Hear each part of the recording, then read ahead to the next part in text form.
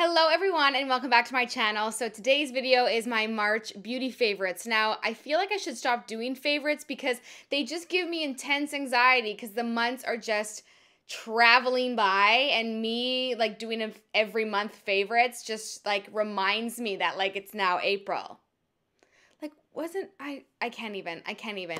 Anyways, if you are new to my channel, this video is all about the makeup and skincare and random stuff I have been loving for the entire month of March. Some are new products, some are old favorites, some are repurchases, what have you. I will discuss them all today. So yeah, if you want to see what I've been loving for the last month, then just keep watching. I went dramatic, dram not traumatic, dramatic today with my makeup. I was wearing this like tee and I was just feeling like I wanted to do something crazy. So the details will be up on my Instagram. And if you do not already follow me, follow me on Instagram to not miss out on all the details of this makeup look. Duh. So, okay, let's just get right into this video. Uh, uh, uh, uh. Okay, one mascara. I've been loving drugstore mascara. This is the new Maybelline Total Temptation. The normal one has a pink bottle, but I like the waterproof, and it comes in a blue bottle. Now, the normal one smells like coconut. This one does not smell like coconut. This one just smells like waterproof. It is a natural bristle brush, just kind of like your average Joe brush, but what I like about this is you can apply like thousands of layers and it doesn't get thick or clumpy. It really just fans out your eyelashes and gives you a lot of volume and a lot of lift without looking overdone. So it just, I don't know, I think that's what their marketing campaign is. It's like soft lashes. So they're still dramatic and with the waterproof, they keep my eyelashes lifted because that's really important to me my eyelashes hang down. So they give you lift, but like I just apply coat after coat after coat and it just builds so beautifully without ever looking clumpy because it's a very dry formula. The only thing I will say is like this does dry up after like two months. You have to repurchase it more, but just get it when it's on sale and you can't really go wrong with that. So I've been using this, I would say for like two months straight. This is already my second bottle of this, so I love it. Another thing I want to mention, a new product to me is the Anastasia Beverly Hills Soft Glam Palette. You have probably seen this all over Instagram and for good reason. It is just a gorgeous everyday neutral palette. Um, Anastasia, Anastasia has been a little bit hit or miss. People have complained about like the subculture, but these are a great formula. There are a lot of mattes, there are a lot of shimmers, and they're all just in that kind of warm, dusty rose gold shade shade range, which is just perfect for every day. I'm not wearing it today, obviously, but yeah, I've really been getting a lot of use out of it. Actually, all these matte shades are what I have in my crease today. Um, they're very warm. Um, so if you like cool tone, this is probably not the one for you, but there is a pink. But yeah, like I love orange soda, burnt soda, sienna, gorgeous. The metallics are so intense and beautiful. The black is beautiful. This dusty rose color. You can literally do a matte eye with this as, with like any of these as the eyeliners or you can do like a dark smoky eye. You can smoke out with the black. It's just really, really great. Um, kind of just like your gorgeous glam palette. It's. Oh my god. Two eyeshadows just fell out. Are you kidding me? Hold the phone. Oh no, it broke. Okay, so another brush fell out. Be careful with this guy. The things fall out. Oh, I probably want to return it now. Anyways, um, no, just return returning it a different one. That just happens. The glue is not good enough. But anyways, I have been loving this palette and wearing it a lot. A highlighter I wanted to mention um, is by Maybelline again. And this is the Maybelline Master Chrome by Face Studio Metallic highlighter in the shade Molten Rose Gold. Looks like this. Um, I know everyone went crazy for the molten gold, and I have that one, and I love that one. It's so messy. Um, but this one just looks better on fair skin tones. Now, in the pan, it looks very pink. Even in person, it looks more pink. But actually on the cheeks, I'm not wearing it today. I should have put it on.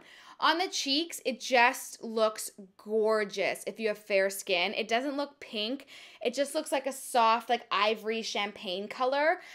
It is so stunning. It is like very metallic, very intense, very noticeable, but it gives you that wet, dewy look. So if you want like a nighttime uh, highlighter and you're fair and maybe like the, the molten gold one was a bit too much, try the rose gold. It will not disappoint. It gives like a rosy glow to your cheeks, but it won't look like pink. It doesn't look like a pink highlighter. Um, it just looks gorgeous. So definitely test this one out. One thing I had in just a little sample, look at this little thing. I think I got it, I don't know, Sephora something or other sample. This is the Smash Smashbox Photo Finish Primerizer, primer and moisturizer in one. So this is just a little sample. Um, I've been loving this. My skin has been crazy dry. I don't know if it's the winter or I've started using um, retinols, but my skin has been so dehydrated and so dry. And it's funny because the ingredients in this are hyaluronic acid and niacinamide. In the morning, I actually applied to my face in serum form hyaluronic acid and niacinamide and zinc and I put that all over my face but I just find like it's not enough and when I go to do my makeup my skin still feels so dry so I have been applying this and it works so well it is so hydrating even if you're like a lazy girl and you don't want to like moisturize and prime just use this and it will be enough to like get it all done, which is pretty amazing. So you just like slap this on your face and then put on makeup. Um so yeah, that's kind of why I like it. Even on like quick makeup days, lazy days, just using this, or if I've done my moisturizer or whatever, even putting this on as well on top. It's so thin, so it like doesn't cake up under makeup, and I just like really, really like the effect it gives. You look hydrated and plump without looking like shiny or glowy, so it would even be good for people with oily skin it's just great. I need to get the big one. Couple skincare things.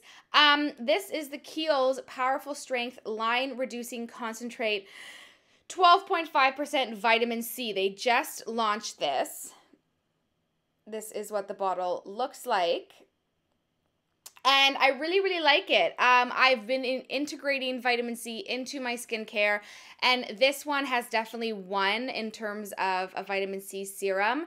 This is a serum, so actually, when you put it on, it completely absorbs into your skin, it dries down, and then I either go put an oil on top or a moisturizer on top, and I've just noticed a difference in my skin um, overnight, really. It just looks bright. Um, the texture has really helped since using this and more just the brightness really for me. My skin just looks healthier and smoother and I can definitely feel it when I wake up that it just feels smoother and looks brighter. So if you're looking for a vitamin C serum that's good for anti-aging, then this one is really, really good. Another skincare, this is an oldie but a goodie. This is the Garnier Skin Active Micellar Water. And this is the blue cap. There's like a pink cap and a green cap. So the blue cap is actually for waterproof makeup. It's like a two-in-one. So this has like a double, it's like oil in the micellar water. I need to shake it up. But this is what the bottle looks like, if you can kind of see it there. I love this. This is my favorite micellar water. I've tried the L'Oreal, I've tried Bioderma, I've tried the Belief one. This is my favorite micellar water, and this is my favorite eye makeup remover. This actually does remove waterproof makeup. Now, I use a cleansing oil to remove my makeup, but if I didn't want to, like if I need to like touch up little spots with like a q-tip i use this or if i'm just really lazy i put this on a cotton pad and take off my eye makeup it won't take off like 100% of your waterproof mascara, but this will get pretty damn close. So if you hate waterproof mascara because it's hard to get off, try this stuff because it pretty much removes everything and it's from the drugstore. It's really cheap. Get it on sale, and yeah, this is by far my favorite micellar water. A hair care item I want to mention. This is the IGK Expensive. It's expensive to be made. Alma Oil High Shine Top Coat. Now, this is kind of funny. I didn't really know what it was when I first got it, but basically, like a top coat for nails, UV protecting glaze instantly transforms hair. So basically, you use this instead of a conditioner. So you use it after shampooing when your hair is wet. Use one to two times per week in place of your conditioner. I love my hair on this. I've been having some issues with my hair and breakage and everything and it's really been growing and I've really been trying to just get that hydration and that shine back into it. And yeah, I think it looks good. Um, I really love this. I just noticed a difference. Like right when I blow dry my hair, it just feels silky, silky soft, and definitely very shiny. Um, I really, really enjoy it. And I only use it maybe like every other time I wash my hair, and I don't wash my hair all the time. But like, yeah, my hair definitely is shiny. Um, so I like this. I like this a lot. Um, it's a small tube, and I've used a lot of it already, but I guess because you're not using it every time you shampoo, it's just like an extra treatment. Um, so if you want super shiny hair that looks expensive, then get this one. Onto some lipsticks, and then we're done.